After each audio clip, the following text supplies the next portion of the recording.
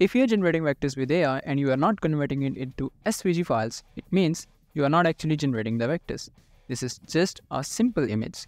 And the good thing about SVG is it never pixelates and you can always edit it later in any of your favorite editing software. And in this video, I'm gonna show you two ways how you guys can turn your simple images into SVG files. Okay, so the first tool we're gonna use is from Adobe and this is completely free to use. So this is the URL of this AI tool. I will also provide the link of this tool in the description below. You can drag and drop your images or select from your device. So I'm gonna pick this vector that I have generated in Stable Diffusion. And now this AI tool is converting this. So we have to wait for it. Okay, so it didn't take much time to convert it into a vector and now we have the option to download this image. Unfortunately, we don't have the before and after option over here, but don't worry, I'm gonna show you. So just click on that download. Okay, so now to show you the results, I'm using this online SVG Viewer uh, because I'm not using right now any kind of uh, softwares like Adobe Illustrator. So I'm gonna upload this image and I'll show you the improvements in this image. Okay, so our file is uploaded and you can see this is the vector image that we have just converted into a SVG file.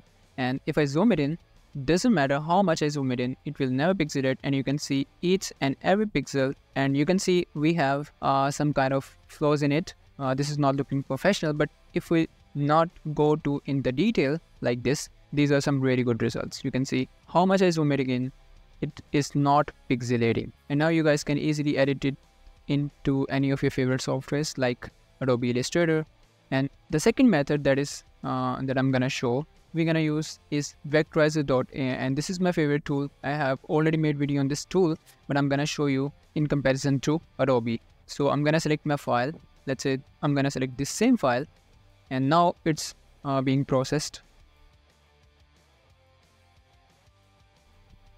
Okay, so now this is converted into a vector and look at the before and after. If I zoom it in, you can see the details. I think this is much more cleaner and smoother than the Adobe's uh, results you can see the details and the smoothness and the sharpness on the uh, hairs and everything is spot on. There are some flaws in Adobe's conversion, uh, but this is looking much more better than the Adobe.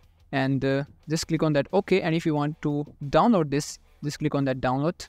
And we also have different options to download. Like you can download this into SVG, EPS, PDF, PNG file, and we also have some other options. And if you guys want to play around with these settings, uh, you can play with it uh, but I would prefer to keep it default and one more way to make the SVGs that is not actually converting the images into SVGs that is a tool called recraft.ai and if you haven't watched my video on recraft.ai you should definitely watch that video. This is the first AI tool that allows you to generate actual vectors with just a text prompt. So I will highly recommend you guys to watch that video and I'm gonna leave the link of that video in the description below. So that was a quick video how you guys can convert your simple AI art into SVG files and that's it from this video and if you guys in a space of AI make sure to subscribe Planet AI and I'll see you in the next one.